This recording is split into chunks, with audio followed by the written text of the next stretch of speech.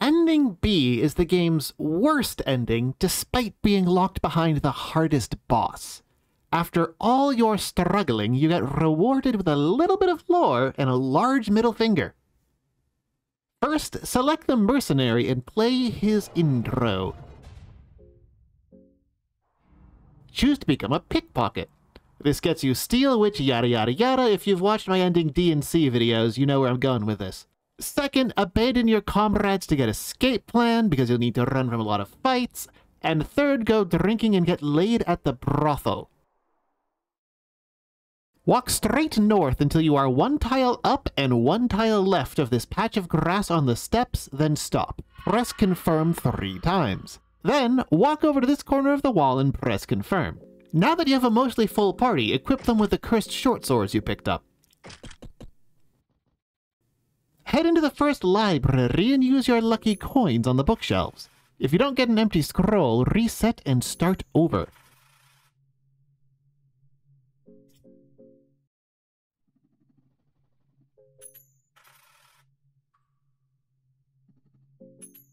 Once you do get a scroll, pick up the mock-up book and head deeper into the dungeon.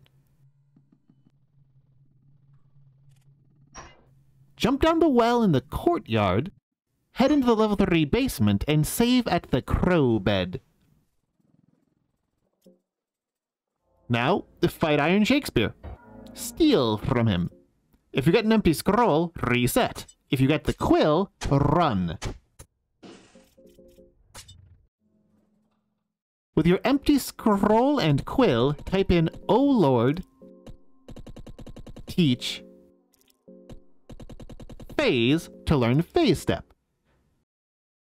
You cannot confirm the OK in the bottom right by pressing Z. Empty scrolls accept keyboard inputs. If you press Z to confirm, it will add a Z to the end of the message. You need to hit Enter, not Z. Head back up the well and kill the priests.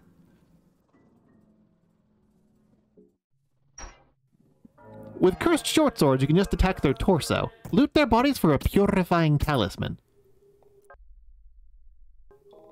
Head into the northwest part of the torture chambers and use the mock-up book to enter the backyard. Grab this stick, stand at the bottom of this rubble, and phase step up twice. Then step down. You'll probably get attacked by dogs, so use the talk command to throw the stick and attack their torso until they die.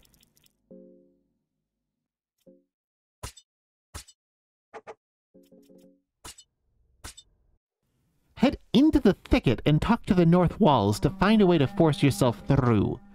Look for a darkened patch on the floor and fall through it. On this floor, look around for a katana stuck in the ground and pick it up. You'll get attacked by a ghost, so attack it with your cursed short swords until it dies. You'll get the purified eastern sword afterwards. Equip that to the mercenary. Find another dark spot on the ground, drop down again, and make your way to the top left of this room.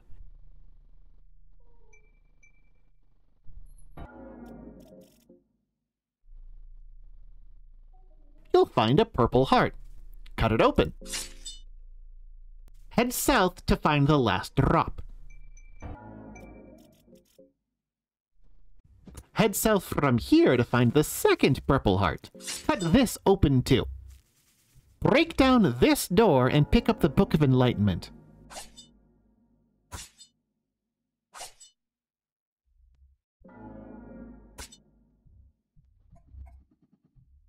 Dodge past or kill the Night Lurch. Then step very specifically on this row of tiles on the bottom of the stairs. Stepping here saves Le'garde. If you open the big door to the north without stepping here, Le'garde dies regardless of how much time you had left. Walk north and brace yourself against the end of this pillar, face up, phase, press confirm, then step down. Follow this path to avoid getting poisoned on the overworld, then kill this body snatcher. See my guide for how to do it safely. Make sure to loot his corpse. You need his poison dart and can make good use of his trench coat. Head into Mahabre City Square, then stand right here, two tiles past the top of the staircase, and face again. Step to the side to go through the doorway, head inside the Golden Temple, and walk all the way to the end. Cut open the last purple heart, then walk all the way back out to Le'garde's cell.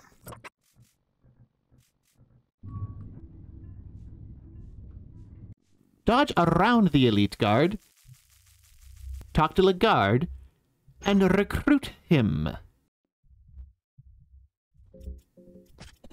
Head into the sixth floor mines and phase step past this rubble.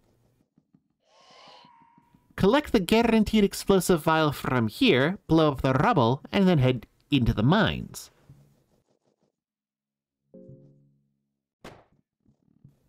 Go through the mines and cave dweller village to get to the god of the depths, then climb down into the gauntlet.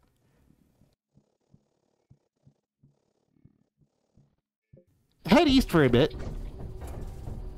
Stand specifically in this corner, face up, then phase step nine times.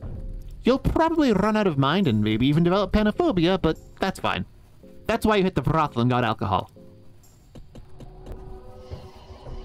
Take three steps down, then one step up, so there's now one tile between you and the switch.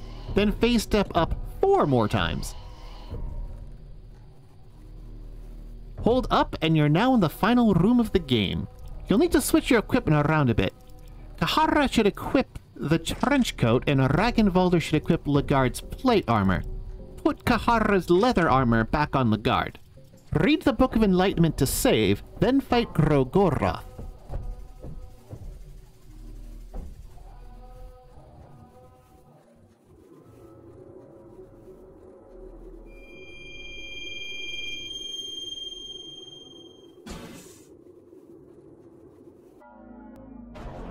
On the first turn, Cahara should throw Poison Dart at his torso, Le'garde should use Leg Sweep, Ragnvaldr should use War Cry, and D'Arce should use Fast Attack.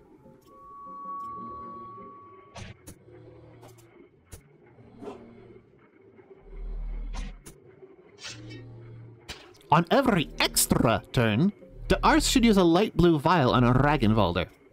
From the second turn onwards, Cahara should attack with the Purified Eastern Sword, Le'garde should either defend or use a light blue vial on Cahara. D'Arce and Ragnvaldr should defend. If Ragnvaldr, Cahara, or D'Arce got hit by Whispers of Gro-goroth, have Le'garde cure them with a Purifying Talisman on turn 2. Repeat this for a few rounds, you'll win the fight and get the ending.